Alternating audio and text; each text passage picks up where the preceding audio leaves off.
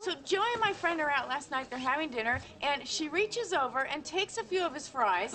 Oh, no. you, you know about the, the, the plate thing? Oh, yeah, yeah. No, Joey doesn't share food. I mean, just just last week we were having breakfast and, and he had a couple of grapes on his plate. Oh, you wouldn't let her have a grape? Oh, no, not me. Emma. Joey doesn't share food!